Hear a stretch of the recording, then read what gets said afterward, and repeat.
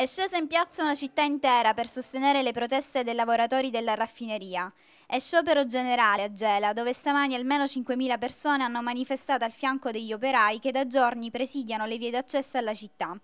I ritardi della politica, il mancato rilascio delle autorizzazioni di riconversione degli impianti per il passaggio della produzione dal petrolio ai biocarburanti ha spinto Gela alla mobilitazione.